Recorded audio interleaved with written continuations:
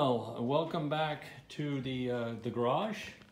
Uh, sitting here while I'm in quarantine, decided to get a few things done. Um, one thing I did is I ended up purchasing some of that uh, insulation material, so I'm going to put it underneath the floor pans. Um, so far, it's looking pretty good. I think it'll be uh, it'll be good. It'll kind of help deaden the noise. Not that that matters much, but I think it'll also help with a little bit of insulation. The other thing I ran into is uh, starting to put together the the centerpiece, um, the cover for the center console, or the, the tunnel if you like. And uh, what you need to watch out for is when you run those lines, doesn't say it, or maybe I missed it, but it, you gotta make sure you keep them tight to that top box. If you don't, this piece here is not gonna slide underneath them. So I had to adjust those slightly.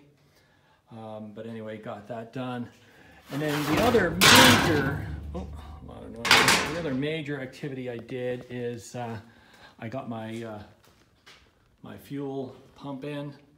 So there's the fuel pump and the filter. You'll notice down here, um, I went and purchased uh, aftermarket uh, clamps for that or hoses. Uh, I couldn't get anything that would turn tight enough, and these were these are pretty nice.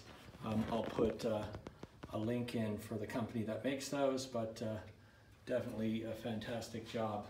And while I was at it, I actually did the same thing here. You'll see the line coming out to the fuel for the fuel and out to the wing. Instead of doing the, uh, the bent pipe, I ended up going with, uh, with these as well. Anyway, so needed to get out here, finally got some stuff started, getting some things done. The other big thing for me is uh, here I've started planning out what I'm gonna do with the antennas. I'm gonna mount both of the antennas.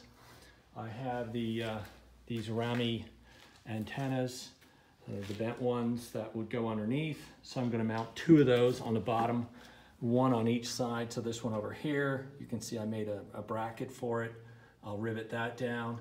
And then I have another one over on the other side. It's not, uh, it doesn't have the screw mounts, uh, the, the uh, nut plates in it or anything yet, but uh, I'll put those in. First I want to drill the holes through and get the holes into the fuselage and uh, get that mounted. So uh, starting to make some progress.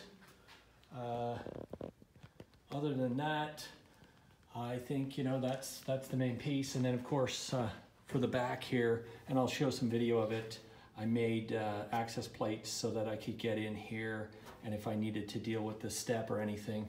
I originally thought about putting my antennas back there, but I figured, eh, the floor is not quite as solid if you look here, you don't get really much, much movement and it's so close to um, another bulkhead here, I just figured it'd be a little more secure. Not that I'm worried about it coming off anyway, but uh, I think it'll, uh, it'll work out well. And then the other thing that uh, was pretty nice is when you order the, the antenna, if you order the Rami, Rami or whatever they're called, um, what you end up getting is you end up getting and where did that go? Here, let me go see if I can find it. You get a template, which makes it a lot easier. Oh, here we go. So this is actually a back plate that, that comes with it. I'm not going to be using that if you uh, if you weren't going to do the um, the nut plates, you could use that and use their screw package out of it. But uh, the big thing is they also give you this, which is um, a template.